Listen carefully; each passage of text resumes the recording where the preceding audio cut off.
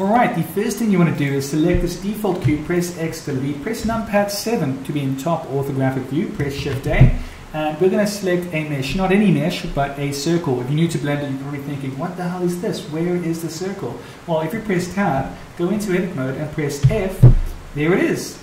It's all there. But if, if you're trying to create a disk, it doesn't help. So press Control Z to go backwards, and then press E to extrude. And look at this mess. It's not exactly helping. Kind of right, but it's not right. How do we fix this? We press S. And then we just extrude inwards and decide on the thickness. Once you've done that, you click with your mouse and press tab, go into object mode, and there we have a perfect disk. It's a bit thin. How do we fix that? We can press tab, go into edit mode, press 3 to choose face select, and holding alt and click this edge here, and then press E to lift this up to give it some thickness. Once you've given it enough, given it enough thickness, you probably also want to press Control R, give it one loop cut at, at the very least, and click, and there we go. We've got a beautiful loop cut. Now, as nice as this looks, it doesn't, it looks a bit sharp. So how do we fix that? Let's press tab, go into object mode, right click, shade smooth. It looks a little bit funny. How do we fix that? We can go to our object data properties, our normals, we can auto smooth, and I like to auto smooth at 75 for this object. And then we can go to our modifiers and say, listen, let's, let's take it to the next level. Let's use the subdivision surface modifier on 2. And just like that, we've created a beautiful, slick disk.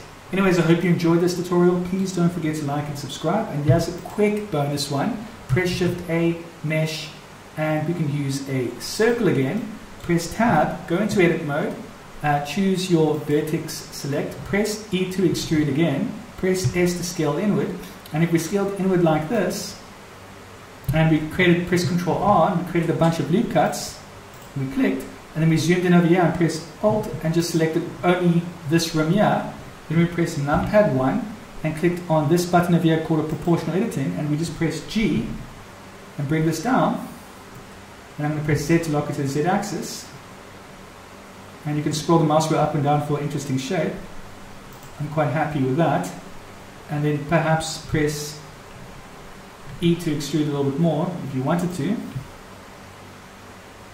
create some sort of funnel and there we go we've created an interesting funnel and once again it takes just a few seconds to fix this up and give it some thickness. In this case, we'll use a solidifier and we'll just ramp this up.